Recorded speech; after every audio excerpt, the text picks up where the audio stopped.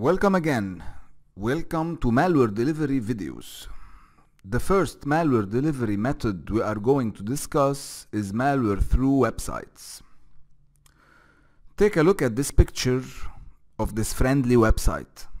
It seems very friendly and in another completely different business, the business of real estate.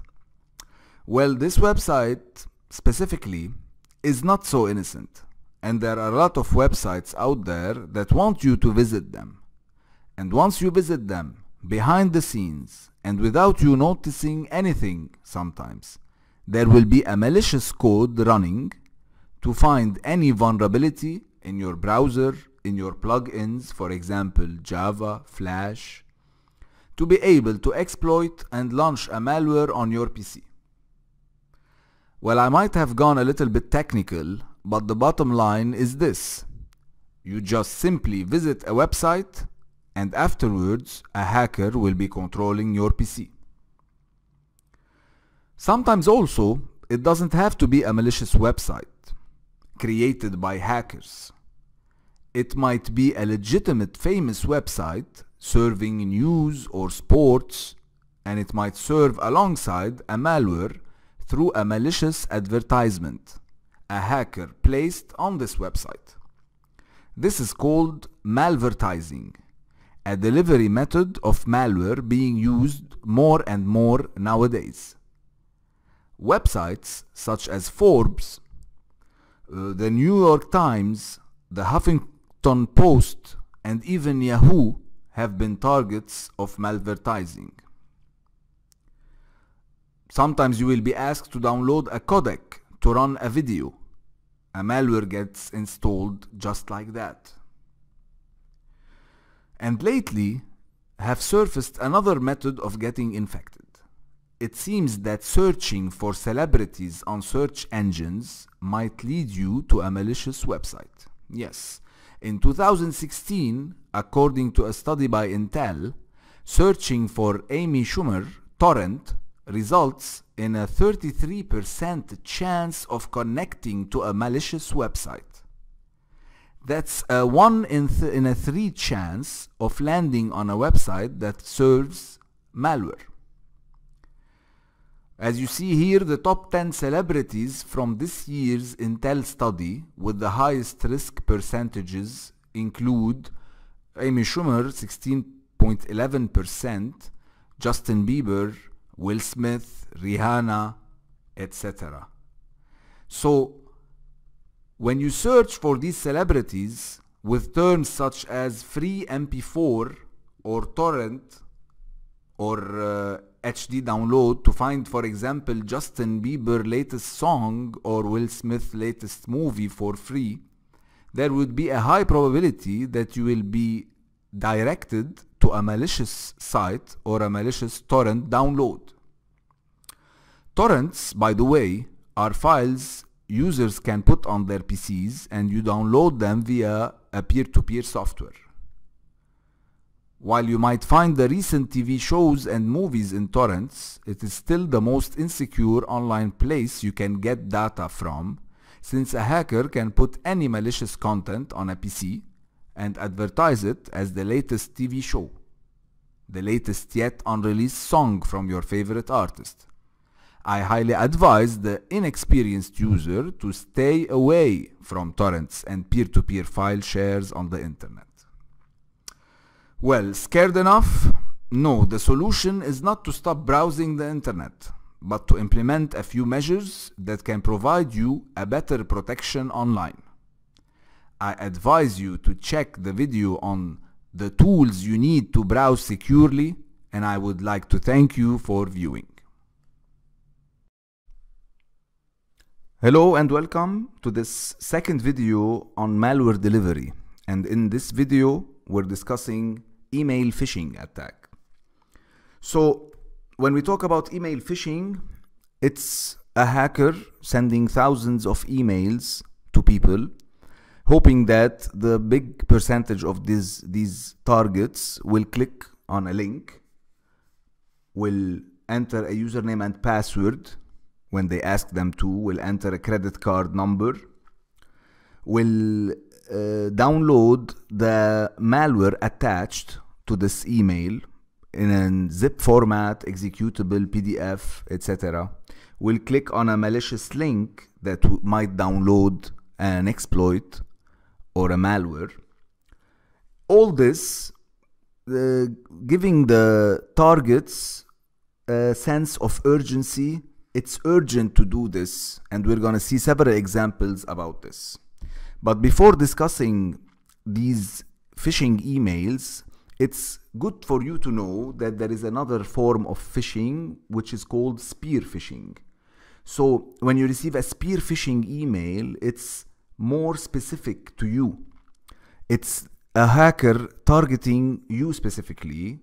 He is collecting your interests, what you are you interested in through social networking, through any other mean, and he's crafting an email targeting you only with something that you are concerned about. For example, if you like tennis and there is the US Open now, so it's gonna he's gonna check any news about US Open and he's gonna send it in a spear phishing email hoping that you click on the link which gonna give you, give him access to your PC.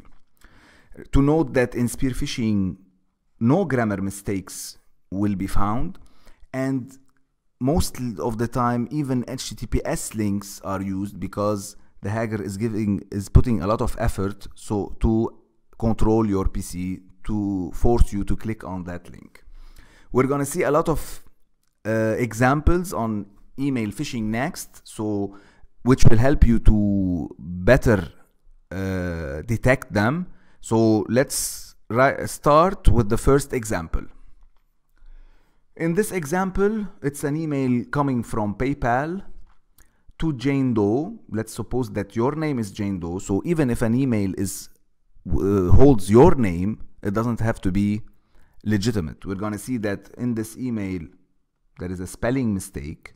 I don't think PayPal will spell your uh, anything wrong in the email.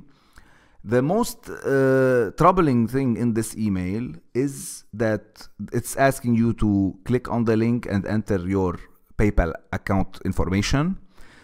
So the hacker can steal them because if you um, put the mouse over this link here, it's gonna take you to this website here. And you notice that this is not PayPal's website. This here is misspelled it's pay p-a-y-a-p-l so this is for sure a fake phishing email let's take another example in this example yahoo is upgrading so it's also asking you urgently to verify your email credentials. The troubling thing in this email is that it's using docs.google.com slash spreadsheet so anyone can craft this in his own google account and i don't think yahoo will be using a google account to do this. So it's also a phishing email. Another phishing email it's a financial bank asking the, the, their customers to also prove their identity. They have three days to do so or your account will be suspended.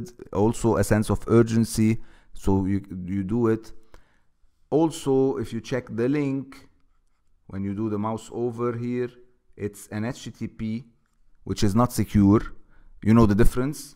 Http you're sending your username and password in clear text. Anyone can read them on the internet. Https they are not readable they are encrypted. So if it's not if you cannot send your username and password your credit card information in an http link this will signal directly that this is a phishing email. Let's check another example. In this example it's a better crafted example where you have the template the logo of apple and it's telling you thank you for your order it's like you purchase something an iPhone and it's like telling you thank you for your order. It's also it gives you a sense of urgency because you might think that your credit card sorry your credit card have been stolen and someone purchased with it and it gives you the only link it gives you is to cancel this order sorry to cancel this order click here and when you check the website that you should go to yes it is https but it it's not related at all to apple. It's needabortionireland.org slash log. So this website could be created by a hacker or this website could be hacked by the hacker. So now he can log into this website which is a legitimate could be a legitimate one. And he is sending your username and password to this website because he can retrieve them from it so also this is a fake website. Now we're gonna move on to other forms of phishing emails. Those that contains those that contain attachments in them.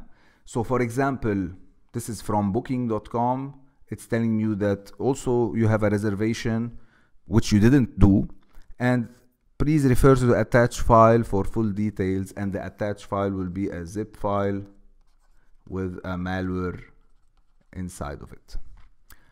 Another example also this is from HM revenue and customs also an attachment a zip file which contains a malware.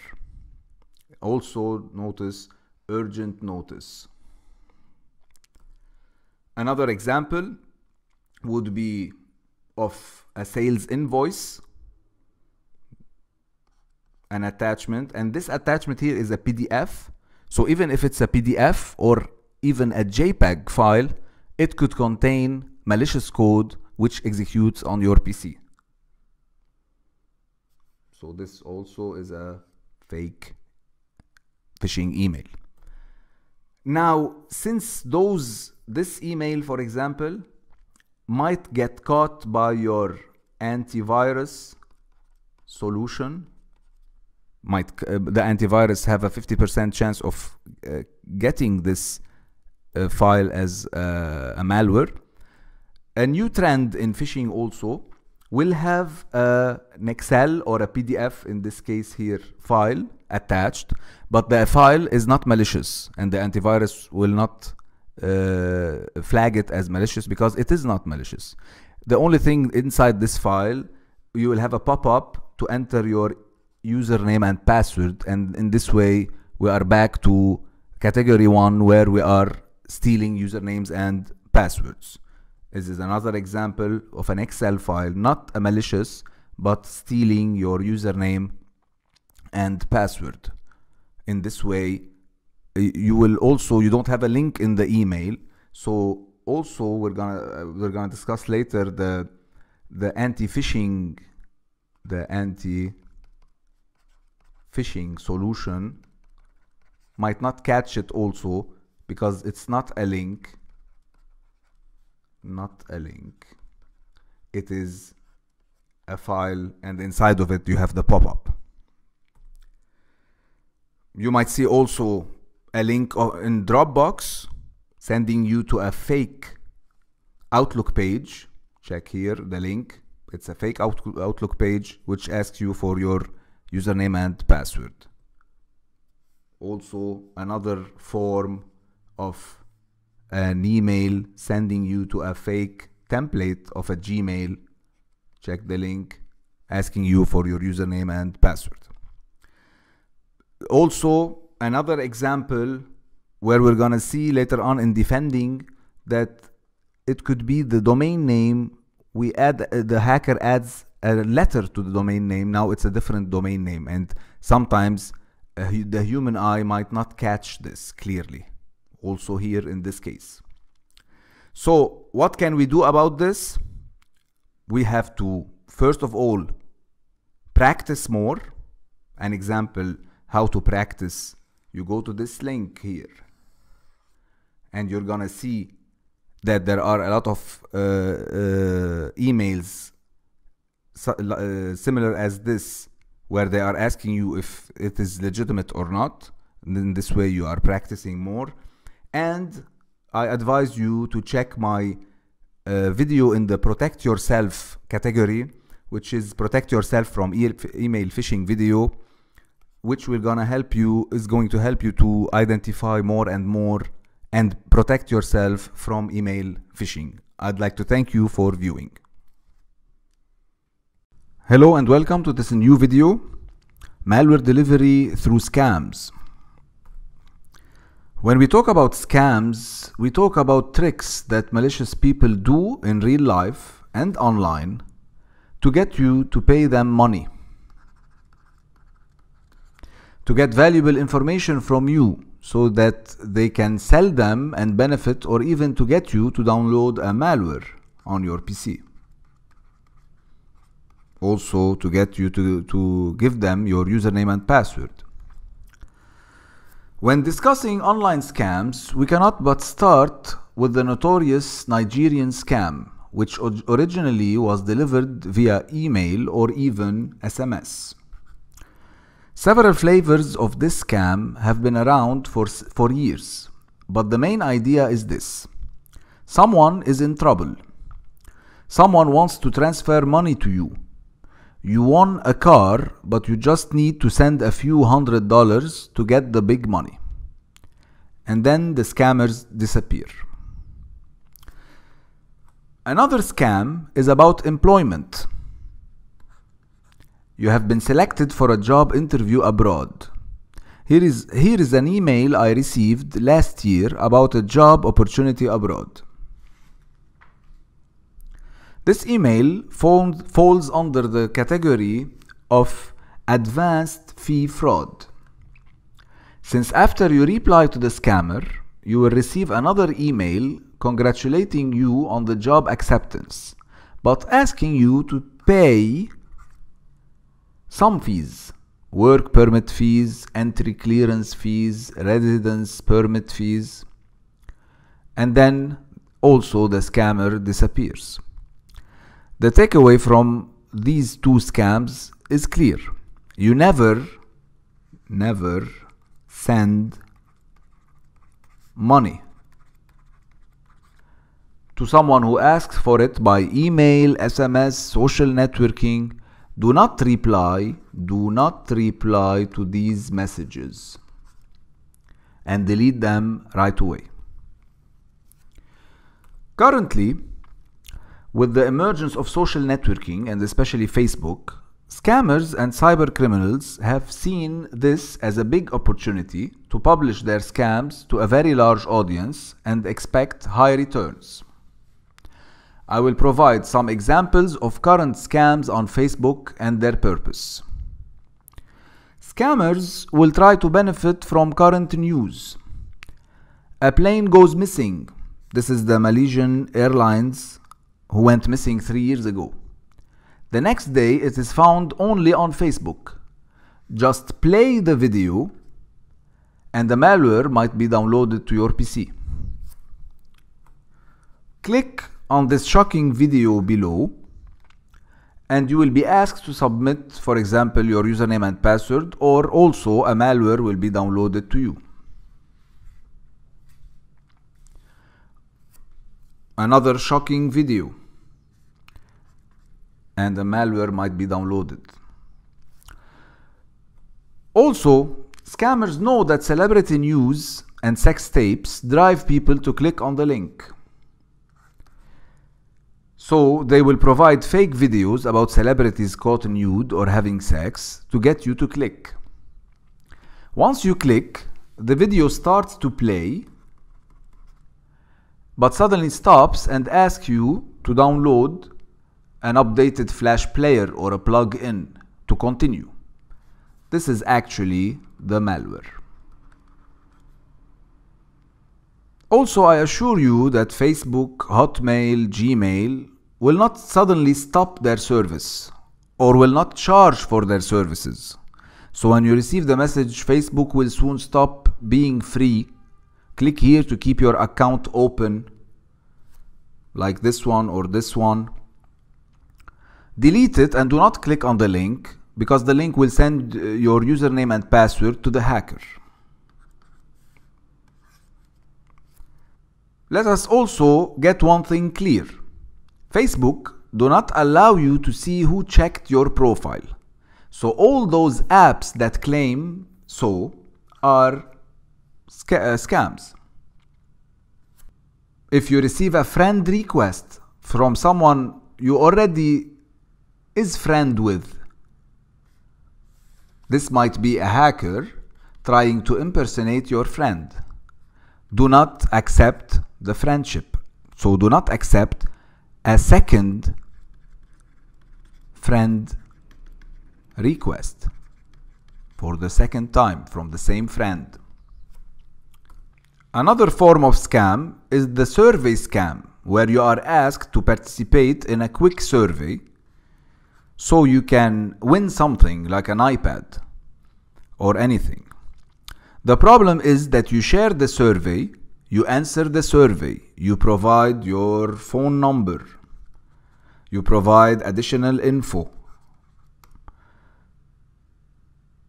Then you are redirected to another survey and another survey. You might find yourself even downloading software or a plugin which could be malicious and you will not win anything.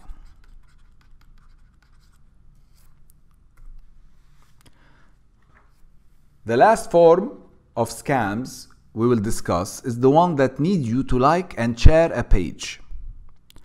Most of these pages will claim hundreds of prizes from known vendors like Apple, Samsung and others like this. So you see here in this example, get your $1000 Best Buy gift card. Starbucks $100 gift card for free. British Airways are giving a lot of tickets online for free. All are these all these are scams that want you to like and uh, share the page. Congratulations, you won. Apple are distributing 100 iPhones with the release of a new iPhone. One like equal one want. Vacation to Maldives. They might also try to benefit from your human affection and sympathy, showing fake images of sick kids, claiming that Facebook will donate per click and per share. Of, of course, this is not true. What do they benefit from this? A page with 100,000 likes can sell for $1,000. Also, once the page has a lot of likes, the owner of the page can switch it to start serving malware in a minute. I hope you benefited from this section on scams and I'd like to thank you for viewing. Hello and welcome to this video malware delivery through social engineering and software. This is the last malware delivery method we're gonna discuss. So what is social engineering? Social engineering is the art of human hacking. It is how a social engineer persuade you to give him your username and password, to insert a malicious USB to your PC, to download a malicious software, or to go to a specific malicious website. Social engineering can be human based or computer based. Social engineers will use one or all of the below methods to get you in a split of a second to make a bad decision based on one of the feelings below, like accepting to insert a flash drive USB flash drive to your PC. Or maybe you will lend your phone to someone. Or let someone use your PC.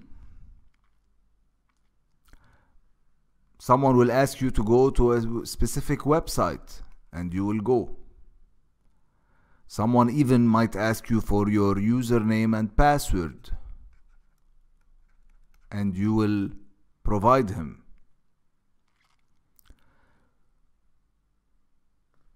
Why would you do all this? All these bad decisions?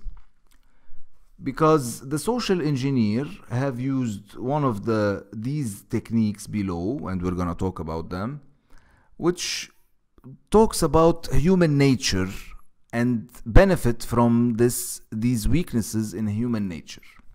For example, a social engineer might use reciprocity, which is giving you a gift and after a while asking you for a favor. So you might feel that you should return the favor. He might flatter you, be nice to you, and then ask for one of these. He might threaten you. If you don't do it, you'll get in trouble. And in a split of a second, you might also provide him with one of these. He might show urgency, and we saw urgency in the phishing email. For example, someone might say to you, I dropped my papers and I'm entering this meeting and I need you to, and I have the, a copy of these papers, a soft copy on my flash drive, so please insert it to your PC so I can print it. Believe it or not, he might, the social engineer might use compassion. So, what if he finds out on your social page, online social page, that you uh, are interested or help kids with uh, heart disease. You are in an organization that helps kids with heart disease. He might even bring a kid with him, simulating that he is one of these kids and he wants your help with something and you will provide him.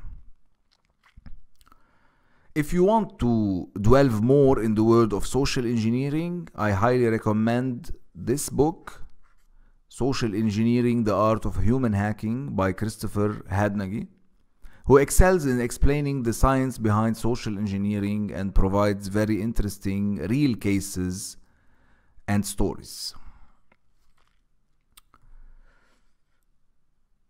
Computer based social engineering let's check or let me ask you this question. What would you do if you find a USB flash drive in a parking lot? This is a technique called USB dropout. What would you do if you find a USB flash drive uh, in, in, the university, uh, in your school, anywhere, in your work? Now, we have here two cases. This one USB or one flash drive might be a used flash drive and labeled and the social engineer might label it. It might label it for example hr or uh, pictures my pictures whatever anything that might lure you into getting this flash drive and inserting it to your pc and then you will get a malware Another scenario might be that you will see a flash drive brand new. It will look brand new, but you have to pay attention that the social engineer might take the USB flash drive, uh, add to it the malware, and then repackage. Will repack repackage it as to be brand new, as to look brand new. And then also, you might say, I, I can use it. And when you uh, insert it to your PC, you get also the malware.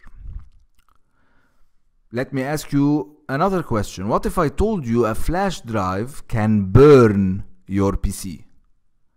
Would you go around and insert flash drives into your PC? There is a software that you can put on a flash drive and that, that has been tested and it will send a high voltage to your laptop and it will destroy your laptop. So it's not just about malware, it's about your it's about the the loss of the laptop.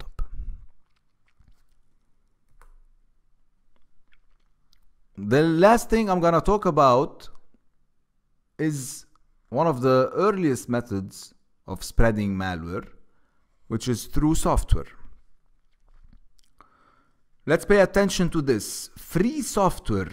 When you think free software, remember this phrase. When the product is free, the real product is you. So often free software will come bundled with adware or even spyware that will be used to gather information about you for to, to display ads to you and pop-ups annoying pop-ups.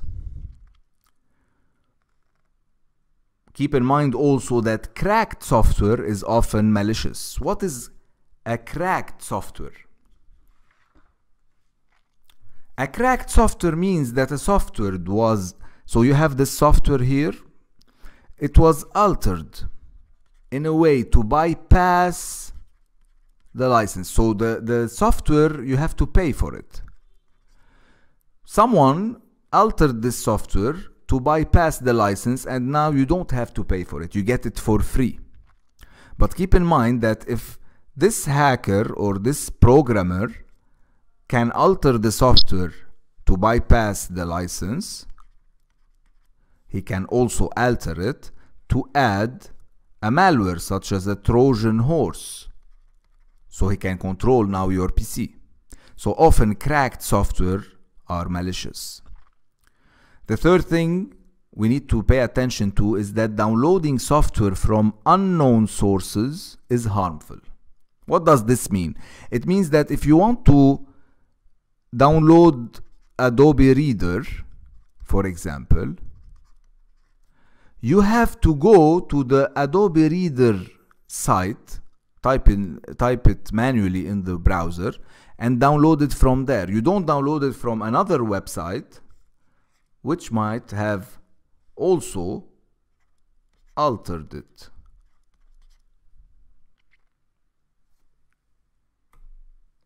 So how to protect yourself? Having all this knowledge that we talked about, how to protect yourself. I'm gonna give you some rules. First of all, do not advertise your social life to everyone. Why is that? Because the social engineer will try to gather information about you, what you like, what you fear, anything about you, to try to do his social engineering tricks on you. So, the less you advertise about yourself, the safer you are. So, you have to be careful what you are posting on the internet. The second rule is do not provide sensitive information username and password, phone number, credit card, etc. to anyone over the phone, by email, directly, in person. Your keep in mind that your username and password are yours and you should not share with anyone. The third rule you have to follow is that you do not plug a stranger's flash drive to your PC. It could be malicious. It could even destroy your PC. Keep in mind.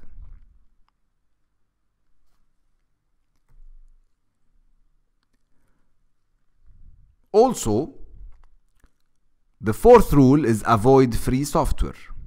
As I told you, it could be bundled usually with an adware. So better avoid free software. For sure, avoid cracked software. It's often related with malware, binded to a malware. If you need a software, buy it. And also keep in mind that you should not download software from unknown sources. You go to the original source and download it. The last thing I'm gonna talk about is what if you have a flash drive or a, uh, several flash drives and you have important data on them, pictures and stuff, And what if this flash drive, you lost it? What would happen when someone finds it? So, in order not to have this person reading all your files and pictures, you have to think about if you have flash drives that are that have important data on them, you have to encrypt your flash drive, make them unreadable and protect them with a, a complex password. One of the tools that can do this is encryptstick.com. You can check it out on the website. I hope this have been informative for you and I'd like to thank you for viewing. Hello and welcome to this new video, how to secure your browsing step by step. In a previous video, we saw that by just visiting a website, you can get a malware installed on your PC. By following these steps here, we're gonna see how we can secure our browsing experience. First of all, you should use a web filter. A web filter will categorize all the websites in the world and will blacklist malicious ones. It will display a blocking message when you try to log into one. If you have any internet security suite from the major antivirus companies such as Kaspersky, Symantec, Bitdefender, it will include a web filter and will not allow you to visit, to visit malicious or even suspicious websites. Moreover, you can use a free DNS filtering solution from Norton or OpenDNS.com that will also blacklist malicious websites. You can also, if you think a link or a website is suspicious, always revert to manual checking through one of these sites here. Zscaler has a good website, Trend Micro, uh, Sucuri.net, URL Void, and even VirusTotal. To note that VirusTotal does not only check for malicious websites. If you receive a file via USB, email, or even downloaded it, and you are not sure if it may contain something malicious. You can upload to VirusTotal and VirusTotal will analyze it using 68 different antivirus engines and it will give you the results. If you find that some of the AVs have found it as malicious, delete it and don't open it. Secondly, I recommend you use Google Chrome as your browser. Google Chrome, in my opinion, is the most secure browser. Now, using a secure browser is not enough by itself. Like I mentioned before, the malicious website will try to find a vulnerability, which is a bug in your software, so it can get into your PC.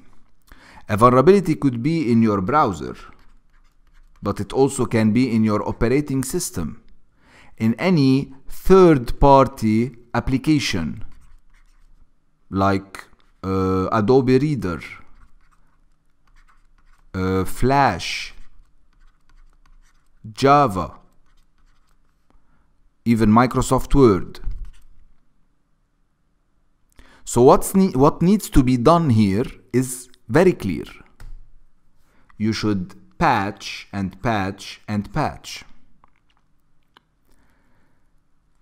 You need to make sure that you are always updating your operating system. If you are running a Windows operating system, you can go to Control Panel, System and Security, Windows Updates, and in the Windows Updates settings, you click Install Updates automatically so that your operating system is always patched and updated for the vulnerabilities that it may include. For the third party software, uh, two software that can help in this are Secunia PSI and a more friendly uh, software which is Heimdal Pro. You can find it in heimdalsecurity.com. Going back to the browser security, you should check what plugins are installed on your browser. Plugins such as Java, Flash, etc. could be installed and not used and could be safely disabled. Chrome by default nowadays is only allowing Flash. No more plugins work on Chrome. It's only allowing Flash and it's allowing it with ask before run option enabled. So it will ask you if you want to enable Flash on this website or not. If you want to check what plugins are enabled on any of your browsers, you could go to these websites and they will display what is enabled so you can disable them.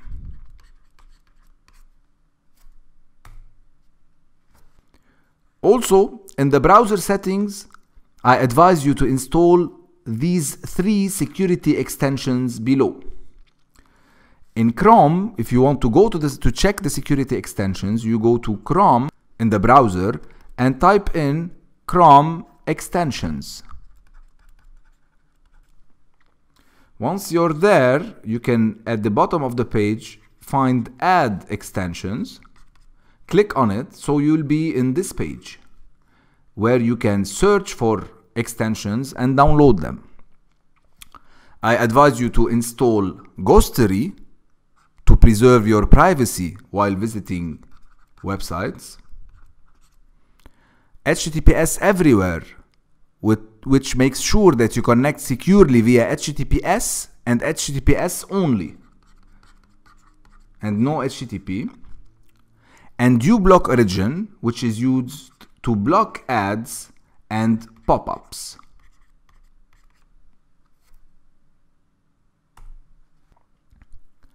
Another good advice is to use a VPN connection when connecting to the internet. Your PC wants to connect to the internet. It's gonna transmit and receive data whatever you're transmitting and receiving if you if you are on an unsecure connection someone on the internet might be able to intercept what you are sending and receiving. To make sure that this is this data is unreadable to anyone you buy a VPN account from one of the providers of the VPNs on the internet. So you install a software on your PC and you connect setting up a secure tunnel. So whatever you're sending and receiving here will be unreadable to anyone. It will be encrypted. One of the good VPN providers are Strong VPN, HMA, F-Secure, Freedom, and you can reach it through this website, Private VPN, iVPN, Private Internet Access. Another recommendation is to use anti-exploit software.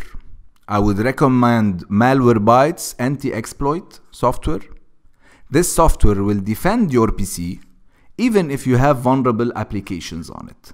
So it will stop the exploitation of any vulnerable app.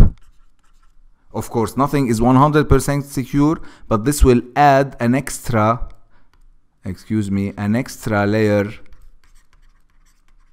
of protection.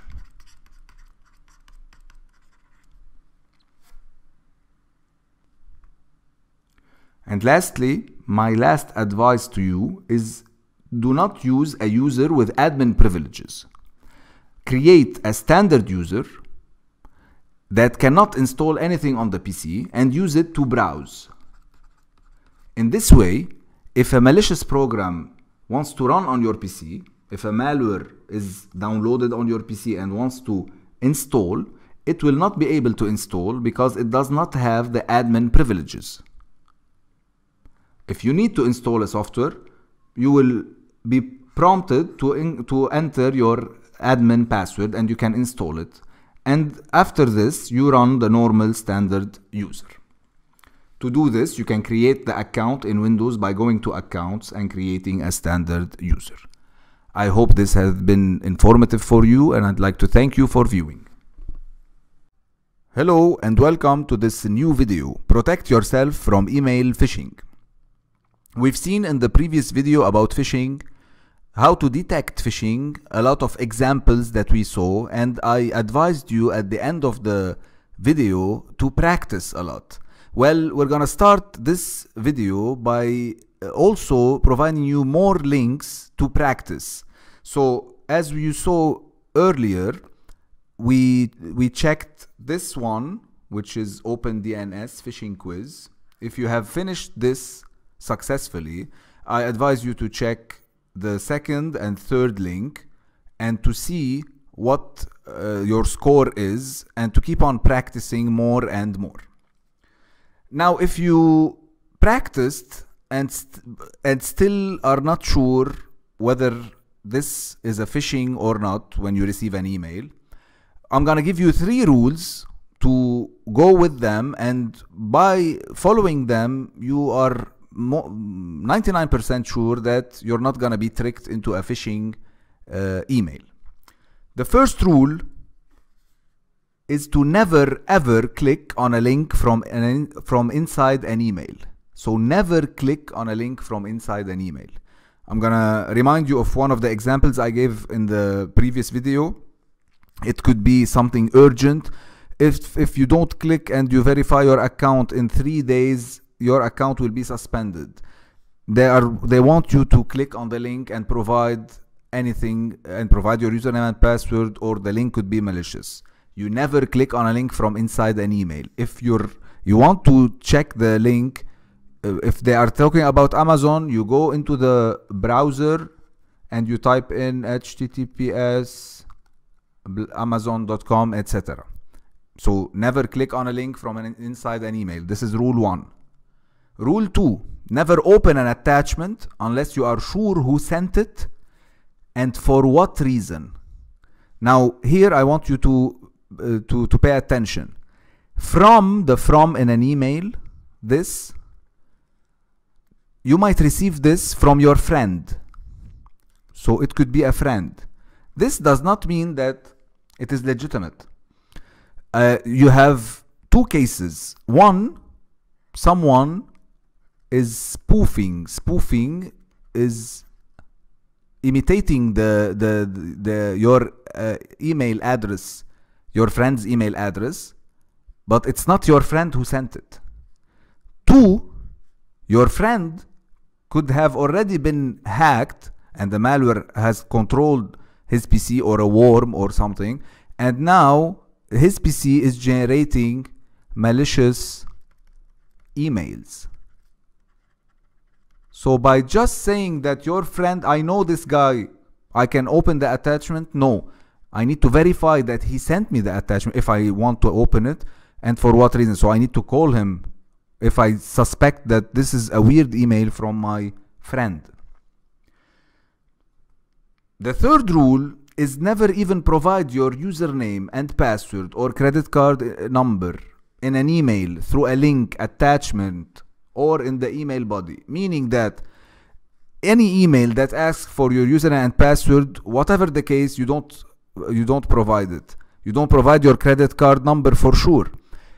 Either if it's a link or uh, as we have seen before it could be an, an excel file which is not malicious and through this excel file they're gonna ask you for your username and password you're not gonna supply them so if you all or uh, if you stick to this rule you're all also protecting yourself better so again rule one never ever click on a link Rule 2 Never open an attachment unless you are sure who sent it and for what reason. And rule 3 Never ever provide your any username and password, any identification through an email, through a link attachment, or in the email body. Now, what can you do if you're not sure if this link is a phishing uh, link or not? You can verify it on these very useful sites. you can go to isitphishing.org or phishtank.com and you provide the HTTP link that you have copied from inside the email without clicking on it and it's gonna uh, uh, tell you if it's a phishing or not. Another thing you can do is to have a spam phishing filter in addition to your antivirus.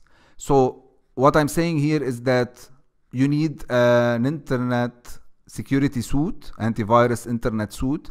So any antivirus from the top antiviruses that you know will provide you with not only the antivirus module but also a phishing module.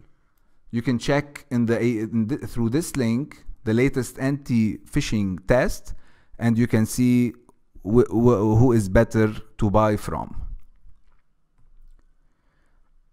Lastly, I'm gonna say also that this might help removing in the folder options of your if you're using Windows the hide extensions for known file types will make it easier easier for you to see in the attachment the real uh, extension of the file. So instead of just finding in the attachment a JPEG which is hidden in an executable you're seeing the real executable directly. But again I don't I don't advise you to click on the attachment even if it's a JPEG. Okay? You need to know that this the the, the sender has sent it and for what reason before uh, uh, getting the receiving or accepting the attachment so I guess and I hope that this chapter added to your protection and to your knowledge how to protect yourself from phishing emails and I'd like to thank you for viewing.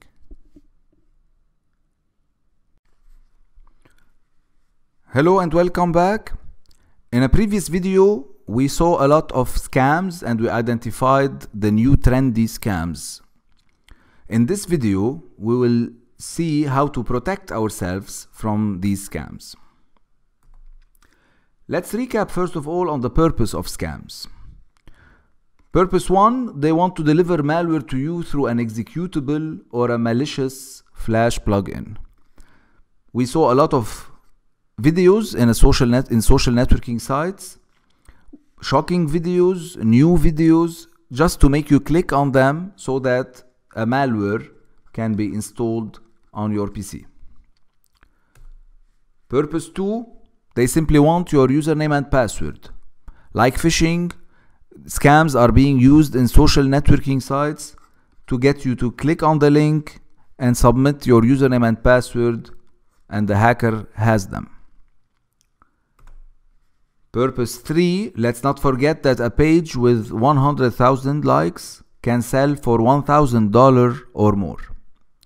So a hacker will put a page and will say like and uh, and share this post so you you might get an iPhone, an airline ticket or anything interesting. Once it has this page has a lot of likes, it can be transferred to a malware serving page. So how to detect scams? First, let's identify that there are a lot of fake news sources out there. Some of examples, nationalreport.net, huzlers.com, empirenews.net, they are all fake news sources. They do say that on their website with a small disclaimer saying that this is a website is a political satire, mostly fictitious. If you're not sure if this is a, a real or fake news, you go to this website, realorsatire.com, post the link, and they will tell you if it's real or not. Most importantly, to detect scams, and if you're not sure if this is a scam or not, for example, they found the missing airplane. Is it a scam or not? You go to one of these sites, Scam Advisor, Hoax Slayer, or Scam Busters, and you check inside their site to find the real information about this topic. All these links are shown in a Word document so that you can click on them and go directly to all the sites in the videos. Lastly, remember if it's too good to be true, it probably is. I'd like to thank you for viewing. Hello and welcome to this new video. Protect yourself from ransomware. First of all, let's be clear guys. Ransomware is a type of malware, but due to the huge increase in the number and types of ransomware witnessed every year, I'm dedicating this chapter to talk about ransomware and to talk about additional ways to protect yourself from ransomware. Ransomware started out by locking you out of your PC. So you might wake up one day, turn on your PC, and you see this picture. Your computer has been locked, and you have to pay money during 24 hours so that you can get back your files and data from this PC. Ransomware has evolved through the years and now we call it crypto ransomware. So now it doesn't just lock your PC, it encrypts all the files. And by encrypting the files, these files are not readable anymore. Unless the hacker gives you a key to decrypt back these files. And to give you the key, the hacker will ask for a ransom. You have to pay to get your files decrypted back. Ransomware is on the rise. Since 2015, we've had we've seen a huge increase in the number of ransomwares, and the average ransom amount paid per ransom is $679. So it is a, a money making industry for the cyber criminal ransomware has evolved and we have seen several types of ransomware and I'm gonna mention a few here. Chimera not only encrypts your files but will publish, will threaten to publish your pictures on the internet if you don't pay. Jigsaw will push you to pay because if you don't pay, it will delete a file every 60 minutes, for example. DMA Locker not only encrypts your net your files, but it also encrypts your network shares. This is, means that if you have a PC and it's connected to a server where you are copying your files to this server and backing your data, if you got hit with a ransomware here it not doesn't only just encrypt your files on the PC it goes through the it detects the share and goes through the share and also encrypts your backup files. In this way you don't have a backup anymore and you need to pay to decrypt your files. Cerber also speaks to you and push you to pay the ransom there is a ransomware for Android now. We've seen a lot of ransomware for Android. There is also ransomware as a service. So cyber criminals are offering for a cheap amount of dollars a ransomware as a service for someone to use it on others. So how to protect yourself? you shouldn't be scared of ransomware because ransomware at the end is just a malware and the malware will get delivered to you from the already discussed methods of delivery that I talked about in previous videos. You see here from the latest statistics that 31% of ransomware are being sent through email links we are using uh, also email attachments, websites, social media such as Facebook. You can get a malware by int, uh, inserting a USB stick to your laptop, etc. So all these methods we already know how to protect ourselves from, right? You need to check the phishing protection, scam detection. You need to have an, an updated antivirus. Already we discussed this. Now I'm gonna discuss a few more points that can have uh, provide you with additional uh, protection from ransomware. First of all, we have seen a lot of ransomware spreading through macros in Office documents, in Word, Excel. Macros are used a lot in Excel. So what you need to do is go to any tool in Microsoft Office like PowerPoint, Excel or whatever and you go into the Trust Center, macro settings and you disable all macros. You never enable a macro because it might be malicious. The second thing we're gonna do is we need to back up our data. Since if we have a copy of our data, even if we got hit with a ransomware, we have a copy of the what is inside the, uh, this PC and we can just format the PC and move on.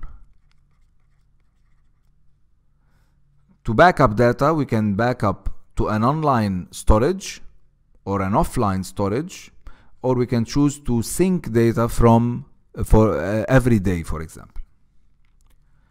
Our online options are, uh, we have a lot of online options. There are a lot of vendors that are providing this. I urge you to check them. Check Spider Oak, check Tresorit, because they are more secure than the others. They provide secure storage. For offline backup, if you want to do a backup on a local hard drive, I advise you to have two local hard drives. Do the backup on two local hard drives, store each hard drive in a different location. Do a backup every week at least or use a tool such as SyncToy for Windows to do offline syncing. The, the data will be just stored, the difference in data will be just stored on your local hard drive. Lastly, if you got hit by a ransomware, don't panic because more and more antivirus companies are finding the decryption options for ransomware. So you could check, for example, this site, it's posting day after day new findings of new ransomware that has been decrypted. So it might be your lucky day after a bad day hit by a ransomware that you find the decryption method to decrypt this ransomware and get your data back without paying. I hope this has been informative for you and I'd like to thank you for viewing. Hello and welcome. In this video, you're gonna learn how to create super passwords. But first, let's start by showing off the worst passwords of 2015-2016. According to Splash Data, the number one password in 2015 used was from 1 to 6. Password, the numbers from 1 to 8. QWERTY, the pattern on your keyboard, from 1 to 5, etc. Let's see if things got better in 2016. Well, in 2016, the number one password used was from 1 to 6. It's still the same. The second is password, and the third is worst. It's from 1 to 5. We see also very weak and very guessable passwords such as football, QWERTY, princess, welcome, solo for Han Solo from Star Wars, ABC 123, admin, flower, password with a zero instead of O. If you see one of your passwords here, you need to change it immediately after finishing this video. But this is not only the passwords that you should avoid putting in any of your online accounts. You should avoid also the keyboard patterns which are easy to, to use. Passwords such as QWERTY, which is a sequence of six letters uh, uh, on your uh, keyboard, uh, such uh, as ASDFGF, HFGH, QWERTY 1234, all these are keyboard patterns easily guessable by the hacker and you use it because they are easy for you to remember. What you should avoid also are all these. So, uh, your password should not have inside of it your name, your family name, your pet's name, any significant date, the date you got married, for example, the date of birth of you or your children or your wife or any close relation, your child's name, your place of birth or your child's place of birth, telephone numbers, your phone number, your wife's phone number. All these should not be in a password. You should avoid them because the hacker or a social engineer will know about all these through your social networking sites or through one of your friends social networking site. All this information should you should not put in a password. Also in passwords to avoid you should avoid short passwords taking from words in the dictionary because a hacker can have a list of dictionary words and try them automatically through a software against your online login accounts. Simple passwords based on favorite rock star or actor, based on a favorite song or movie. If your friends know this, then a hacker can know them also you should avoid using them inside a password. And also all kinds of the word password. Here we have uh, this word which we have the p capital we replace the a with at and we replace the o with zero. This is a complex password but a password which is very known to hackers. So you should avoid it here are some examples of better passwords, but also we should avoid them. So those passwords are better than the ones we described earlier, like putting your name with your birth date, putting a name uh, or your child's name with a phone number, a word with a date also. Those are better but also there are now softwares that are used by hackers that can create a list of uh, your uh, names and your uh, numbers, significant numbers, and create a list of them sequentially and also try them against your passwords. Even words with symbols, for example, taking the word Braveheart and changing the A for at, the E for 3 and here in nothing new the O for 0 you might think this is a very a very complex password but also there are softwares now and tools that can automatically do this change here and run them and try to guess your password so after seeing all these passwords to avoid, let's check some rules to follow in order to have a good password. First of all, and the most important rule, do not use the same password on all your accounts.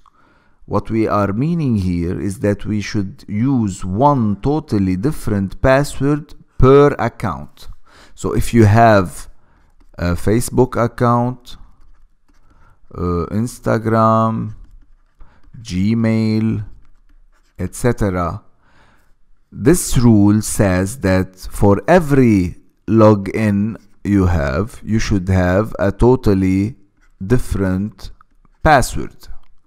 Totally different not related and there is there should be no pattern between them.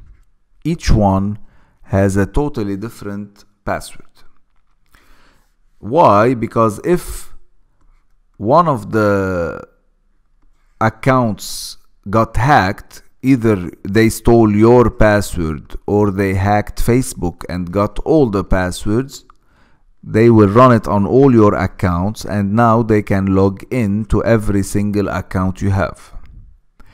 Also do not keep your passwords on a text file excel file.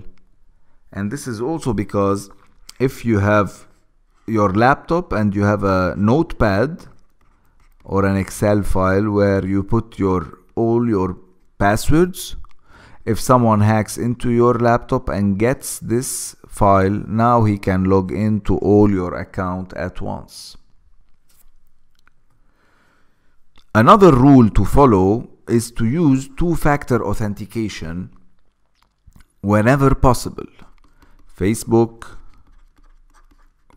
gmail google etc all supports two-factor authentication. What is two-factor authentication? When you want to log into Gmail for example you have to put your username your password and it's this is not enough anymore.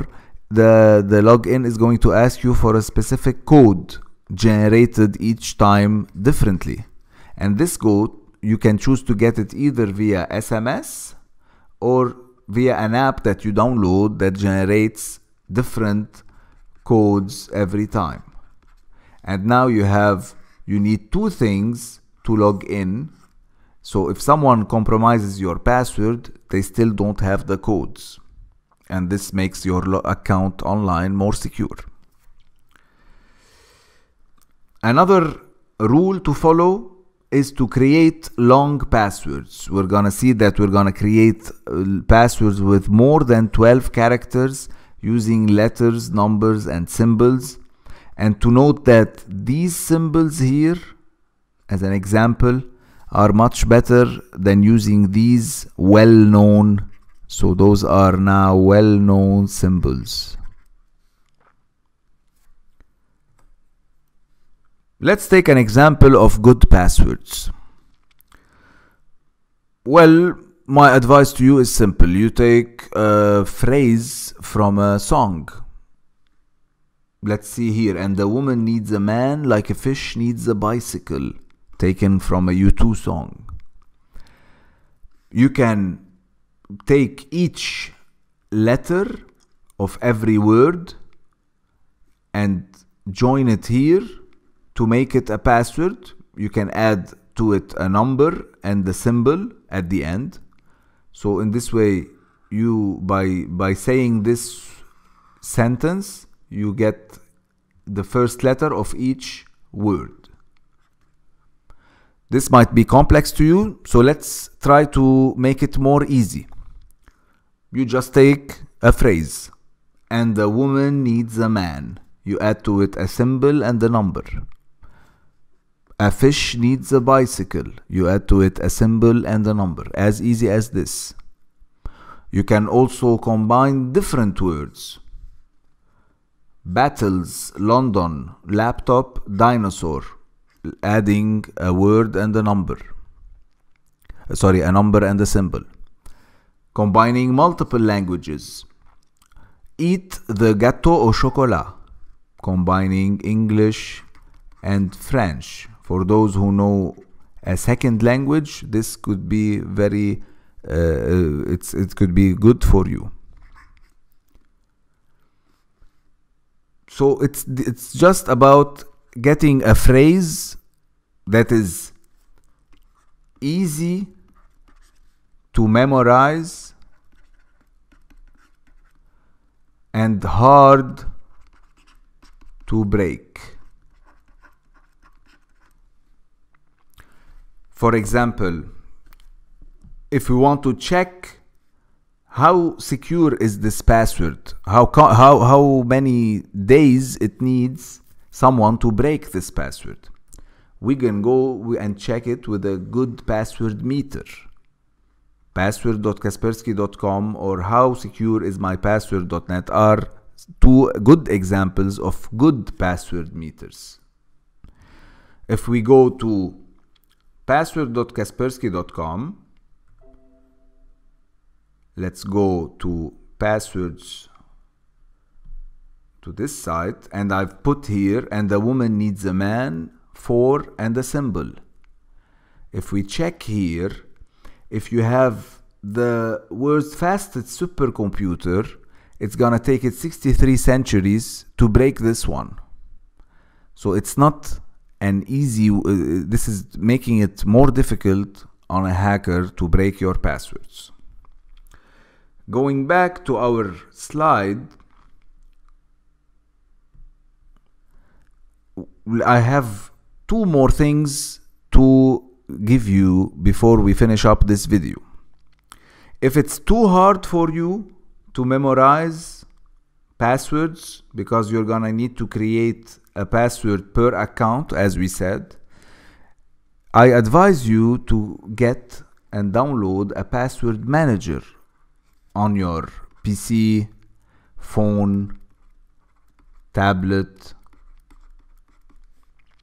what a password manager such as LastPass, 1Password, KeePass, or Dashlane, which is a screenshot is taken from Dashlane here, what it does is that it it groups all your accounts inside of it. So you can create all your logins inside of it. You create a login for Gmail, Facebook, Amazon.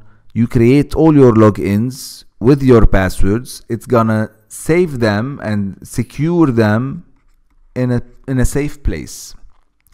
What you need to access your password manager is what we call the master password. The master password, you will create it with the same rules that we uh, we, we, we saw earlier and the master password once you connect to it you, you put it you're gonna open this application and you're gonna see all your passwords a good advice would be to use two-factor authentication on your master password so you will need a code also to better secure your master password and you will need to memorize only one password I advise you to go to dashlane.com download the software for free and uh, check how to log in easily through it. The last thing I'm gonna say is that do not log into Facebook, for example, from a device you do not own. Any device you do not own, your uh, a PC, a mobile, for your friend, you do not put your user and password inside of it because you might they might have a keylogger that is logging everything that you type you do not share your password with anyone. No one should have your password. Not even your wife your mother your father because your password is your identity on the internet. So it's your job to keep it safe. If someone gets your password, he's gonna be able to log into Facebook on your behalf, posting uh, posting stuff that you don't want to post, adding friends, and cheating on your friends. Also, if someone logs into Gmail, he's gonna be able to read your emails and send emails on your behalf. So your password is your identity on the internet. Keep it safe. I hope this has been informative for you and I'd like to thank you for viewing. Welcome to this new video. how to secure your wireless home network. First of all, let's start with wireless attacks. Why is wireless less secure than a cabled network? Let's take an example of your home.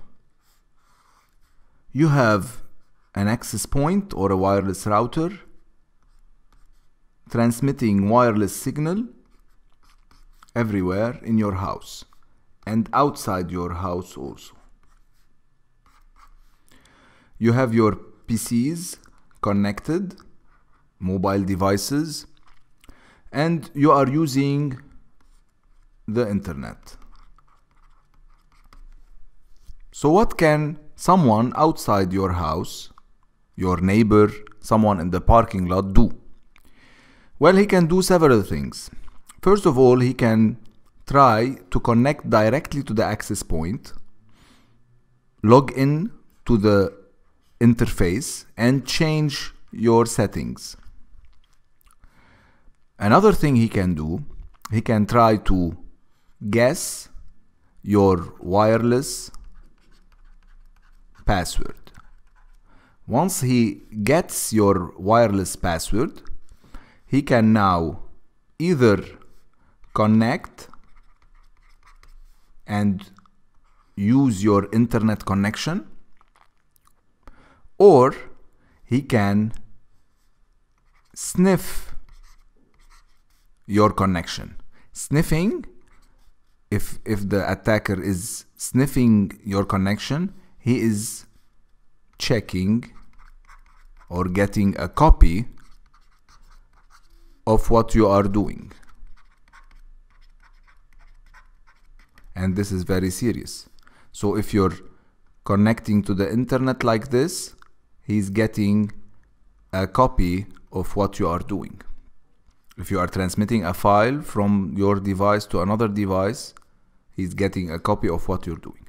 So wireless attacks are serious and they are mostly used either to spy on you or to simply utilize your internet connection so let's see what to do to prepare and protect ourselves and protect our wireless network. Those are the things that I'm gonna discuss in this video and we're gonna discuss each one and uh, change the settings of each one. First of all, let's protect our access point. As I told you, in the access point, you log uh, to connect to the access point and configure the access point you log into a url for example http 192.168.1.1 and then you you are asked for a user and password.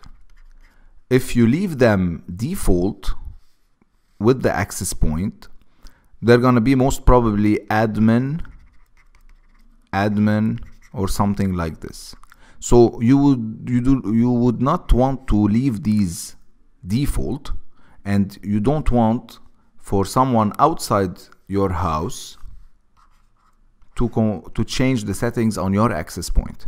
So the first thing we need to do is to change the default password with a long password complex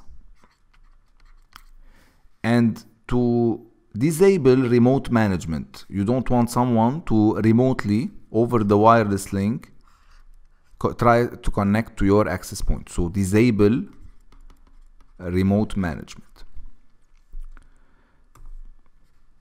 Once you you you did this now you go to the wireless settings and the, th the, the thing that you want to do is to change the network name or the SSID also you don't want it to be default Cisco or Linksys depending on the brand of the access point that you have.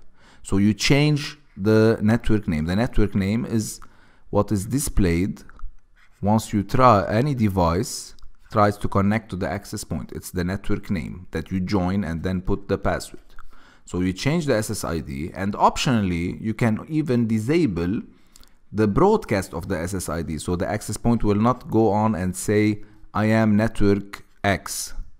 He's not gonna say anything. You need to, on the PC, uh, type in I want to join network X and then put the password. I say optionally disable this because this is this will not make your network uh, fully secure since this can be bypassed by a hacker. The most important thing to do, however, is to put WPA2 personal, use this encryption method in your wireless settings and supply it with a long, long password. This password is your wireless password. Whenever you join a network, this is the password that you're gonna enter. I recommend to change the password every month if possible or every two months because changing the password even if someone gets into your network by changing the password he's not he's going to try again now to break into your network. WPA2 personal with a very long password is considered very secure till now but to maintain its security you have to disable WPS even if you have a very good WPA2 password but you have enabled WPS with a pin code this can be hacked or cracked or broken in an hour. So you don't want someone to break into your network you disable WPS make sure it's disabled Another optional feature which can add a bit to your security is to filter per MAC address. What does this mean? You have the access point, you have your devices. Each device has a unique MAC address, MAC 1, MAC 2, MAC 3.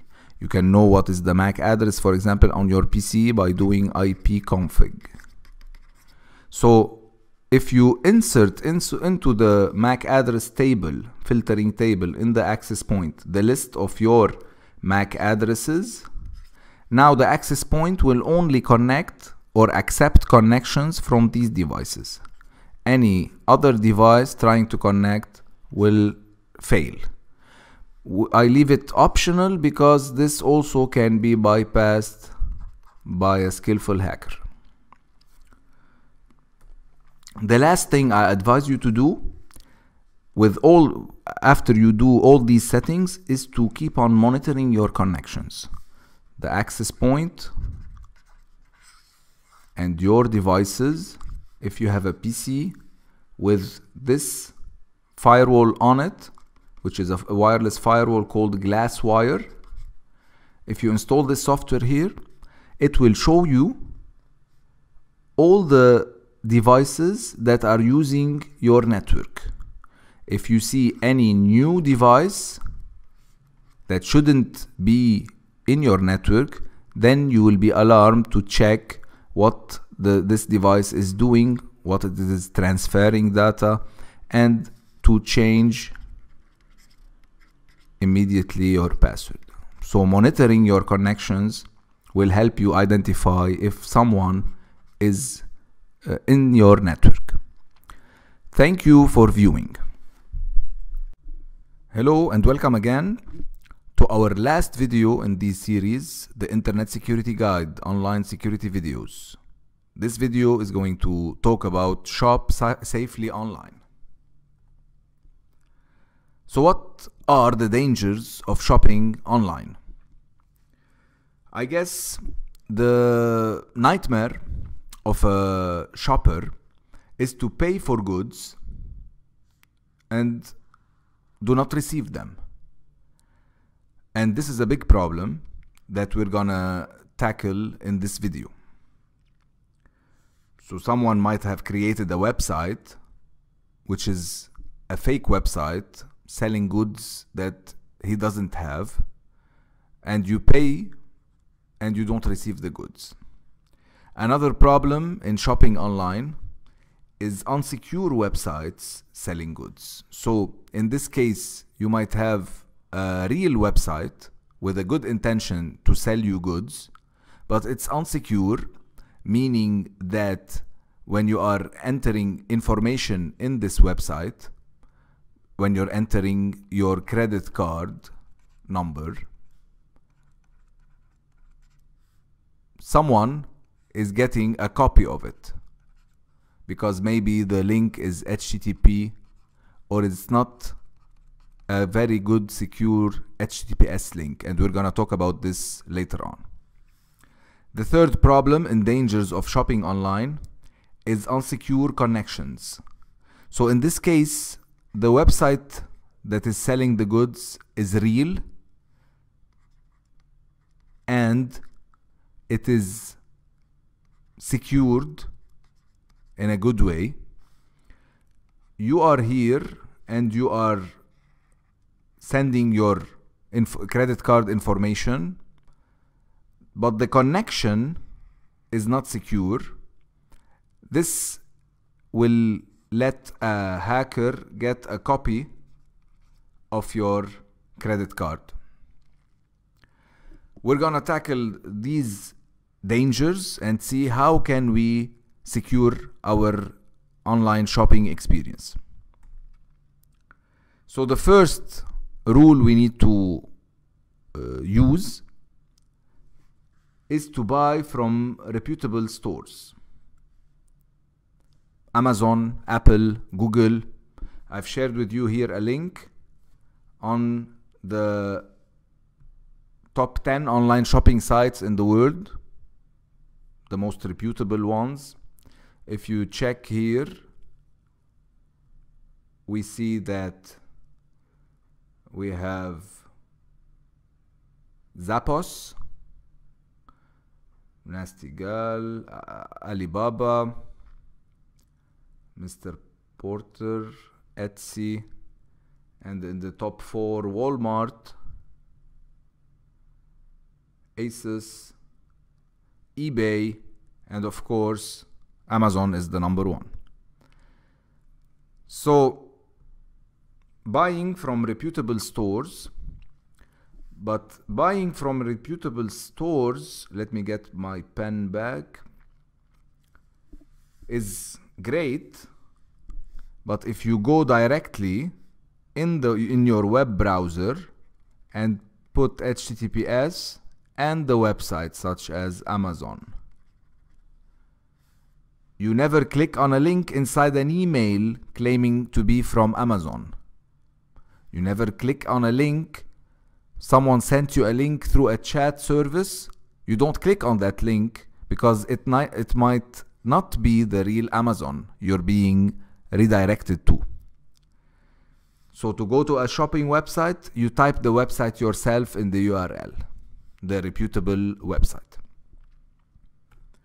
The second thing we're gonna talk about is that sometimes you might want to shop from a not reputable website. So what do you do in this case?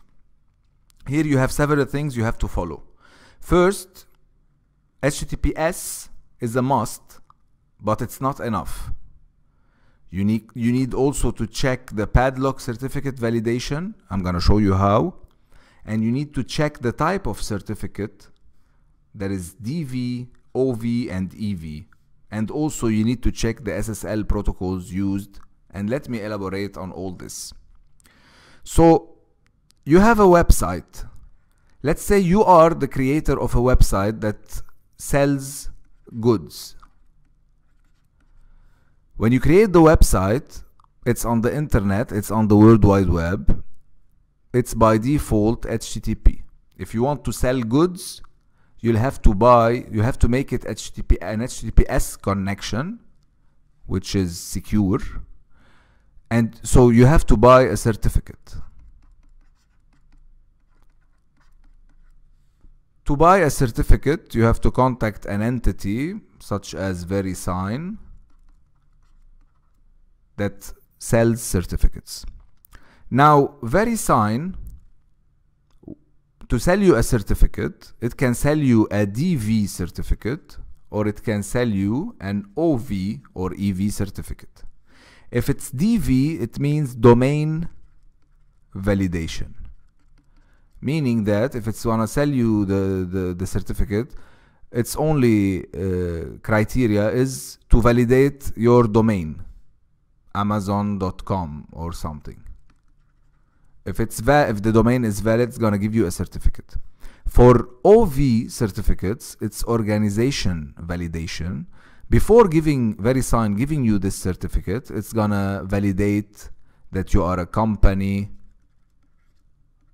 what's your address, real address, location, and phone number, who are the owners, etc. When a when VeriSign or any other certificate uh, authority gives you gives a company an OV organization validation certificate, it means that they trust that this company that that uh, that uh, is selling goods is a legitimate company and it will send you the goods. So now you have a website secure with an OV certificate which we this is what we want to validate as a user in order to get or shop online from not reputable stores to believe them let me give you an example. So to do all this you can go to one of these links below. And I've already done this exercise before. So if I check I'm sorry. Let's check here amazon.com by the way before checking Amazon we can check the padlock so by simply going to amazon.com and checking the padlock and clicking on view certificates we're checking that the certificate is issued to amazon.com and it's valid. Check the date it is valid. But this is not enough. I need to know if amazon has a dv or ov certificate for the reason i just shared with you. So in this site i can check and this is and this is a one-time check by the way. So you only check once this. You know that this store is reputable or not is, is uh, trustworthy or not. So this is an ov certificate. It has all the information here the validity and even it has what protocols are being used. And of course using TLS 1.0, 1.1 and 1.2 is the choice nowadays. If a store is still using SSL v2 or v3 also it can be hacked. So I uh, advise you to avoid such stores. Good. So I hope this is clear now. We're gonna continue with our advice and to fix now the the third problem if you remember the third problem of uh, of shopping online was unsecure connections. This hacker here that can get your copy of the credit card information or your username and password. So to fix this the advice is very simple. Do not use a public wireless hotspot when you are shopping online any insecure wireless connection try to avoid it. So if your wireless internet at, uh, at home is secure and you followed the, the steps I gave you in the video wireless internet uh, at home you can trust it now. Else if you want to shop online what you can do is to use tethering. So what, what is tethering so you have your pc by the way you can shop from shop online from your mobile through the 3g or 4g connection directly which is secure. Now if you need to use a pc what you can do is turn the hotspot feature on your mobile which uh, is in every mobile and once you turn the hotspot you'll need to provide you're gonna have an SSID and a password a complex password. You need to provide them on your wireless connection. So you provide your the SSID and the password.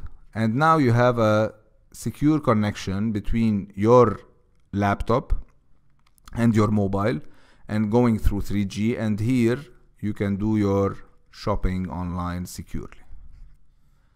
So this is a better way in order to have uh, an online shop, a better online shopping experience. Else, if you don't have any other alternative but a public wireless network, you need to have a VPN software on your PC or on your uh, phone. We're gonna tackle uh, VPN, or we already tackled VPN in uh, uh, an earlier video. The last thing I'm gonna say about secure online shopping is to use two-factor authentication to log into these online shopping sites. So Amazon, Apple, uh, Google, etc. All these websites nowadays supports two-factor authentication, which means that it's not just enough your password to log into these sites. You need another, a second method of authentication. This second method of authentication, it could be an SMS. They send you an SMS each time a new code. You need to enter it. Or there is an app that generate codes. So you have this possibility. In this way, if someone steals your password, he's not going to be able to log in to these uh, online sites and get your info from them and shop on your behalf or steal your credit card. Two-factor authentication is becoming more and more of a necessity. I hope this have this video was informative for you and I'd like to thank you for viewing. We're gonna start our first chapter by talking about the internet. The internet is now one of the basic human needs. There are nearly 4 billion people, yes, you heard me right, 4 billion people using the internet in 2017. So what is the internet anyway? The internet is the network of all networks. It is all the PCs in the world connected together online. In one minute of internet, there is 2.78 million YouTube video views. There is 2.4 million Google searches. 150 million emails sent, yes, in one minute. And 200,000 of Amazon sales. So how do you connect to this virtual world?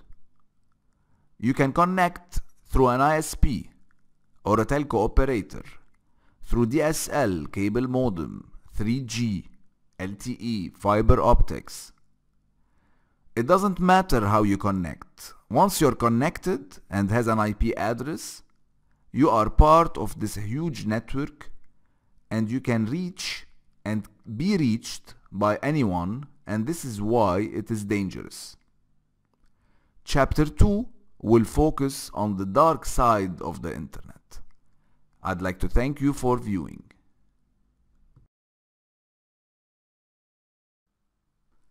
Hello and welcome back.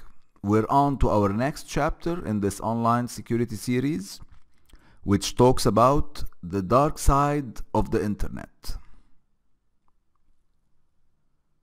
If you know your enemies and know yourself, you will not be imperiled in a hundred battles taken from Sun Tzu, The Art of War. Funny how this old saying from Sun Tzu, a Chinese general more than thousands of years ago, still applies to our digital online world. We need to know what we are facing in order to conquer it. So in this chapter, we will answer the question, what is a hacker and what does he want from my PC? Well, a hacker is equivalent to a cyber criminal who wants to get into your PC mainly to do the following evil deeds. Information theft. Information theft is stealing important data from your from your PC to sell it and make money. Identity theft. It's stealing your username and password, your bank account information, your credit card number. Data manipulation. Changing data on my PC so that the displayed results are changed in reality. Take for instance uh, altering res exam results, medical results, and uh, what would happen if we do this. And lastly, device control. Yes, a hacker wants to control your PC, either to use it in online malicious activities or to lock it maybe and ask for money to give it back to you. Good. Now that we know what a hacker wants, let us answer the question that comes naturally after that. How does he do all that? To answer this, I would like to welcome you to the world of malware. Malware, a new word made up of two, new, two known words, malicious and software. So the hacker will try to deliver a malware to your PC so that he can control it, use it, or manipulate it to serve his malicious purpose. In the next chapter or video, I will be introducing you to the whole family of malware in details. Examples of malware you probably heard about are virus, worm, Trojan horse, ransomware. To note that in 2015, for example, in the United Kingdom, cybercrime surpassed the real crime rate in the country. Yes, 53% of all crimes are cybercrime. So you better continue with the videos to learn how to defend yourself in this dangerous online world we live in. I'd like to thank you for viewing. Hello and welcome to our next chapter, the world of malware. In this chapter, we will try to differentiate between different types of malware in order to better understand how to defend against them in later videos. Okay, so what is a virus? A virus, by the way, is one of the oldest malware. It is an executable file. It usually needs your interaction, double click. So if you don't double click, it can't enter your PC. Usually the virus will harm your PC it will delete files damage your your hard disk. Whereas a worm a worm will try to infect as many PCs as possible by spreading through the network do you remember the blaster worm? The blaster worm would spread through the network making use of a bug in Windows XP if you remember. Or it would be spread via email and from from PC to PC another malware we're gonna try to know how it works is a Trojan horse and it got its name from the story of Troy the legend of Troy Remember when the Greeks entered Troy by tricking the people to accept a large wooden horse as a gift and inside the horse there were soldiers. So while you think you are downloading the innocent Adobe Reader for example software Adobe Reader and you install it the Trojan horse is installed also and now the hacker can control your PC over the internet. Have you heard about spyware? Adware. A spyware or adware is a software that sends information about you over the internet, mostly for advertising. Well, they usually do not cause harm to your PC directly, but if suddenly you feel your PC is too slow, so these, are some signs, too slow. I'm gonna write this also, internet activity, too much internet activity, sending bytes. Perhaps your browser is opening several tabs or pop-ups, pop-ups. These are signs that your PC is, is infected by a spyware. What about keylogger? Keyloggers uh, soft is a software that have the ability to record every keystroke you make on your PC. So if you have a keylogger on your PC, all everything you type in, for example, your passwords, will be stolen by the owner of this keylogger.